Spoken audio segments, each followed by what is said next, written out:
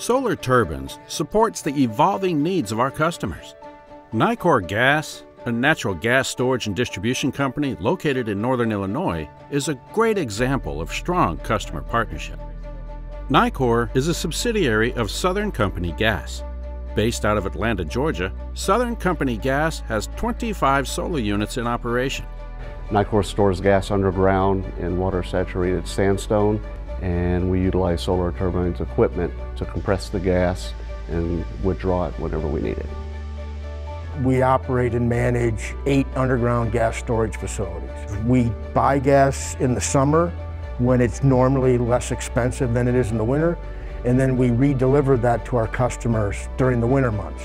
Solar has an especially strong history with Nicor based on deep customer understanding and relationships.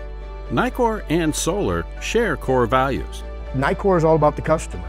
We have about 2.2 million customers. We are in business to provide them safe, reliable, cost-effective service, and that's what we do.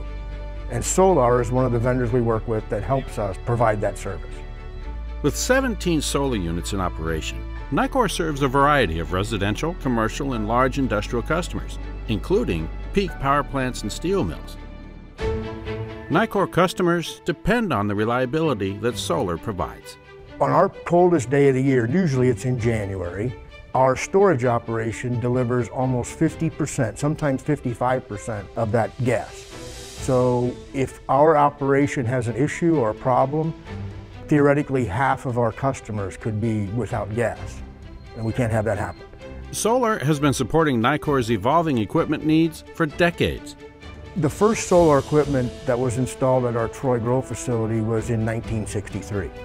Those units we installed in 1963 are still running today.